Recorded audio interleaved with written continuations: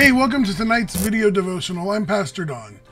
So today is Veterans Day, and I want to just say thank you to all the veterans out there who have served our country uh, to keep us safe uh, in times of trouble and in times of peace. So thank you very much for all that you have done for us as a people. But as I was thinking about this country, I realized that this country was founded on the fact that we are truly independent people. We love independence. Our founding paper was the Declaration of Independence. And we as Christians feel the same thing. We love independence. But yet the Bible calls us to be dependent. Not to fight for our own freedom, but to, to abide in Christ. We must abide in Christ, abide in the Father, abide in the Spirit. Then God can abound in us.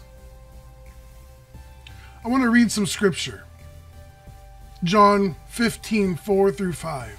I'm reading from the NLT. It says this Remain in me, and I will remain in you. For a branch cannot produce fruit if it is severed from the vine and you cannot be fruitful unless you remain in me. Yes, I am the vine, you are the branches. Those who remain in me, and I in them, will produce much fruit. For apart from me, you can do nothing. Jesus clearly states his case here. We must be dependent on the vine alone, if we were cut off from the vine, if we were just a branch on the ground, we quickly become a dried up stick. But when we are abiding on that vine, when we stand fast onto that vine, then we can produce fruit. And it's that fruit that is good. This week coming up, we're going to be talking about good fruit versus bad fruit. What kind of fruit do you want to bear? I pray that you want to bear good fruit. That's my prayer for you.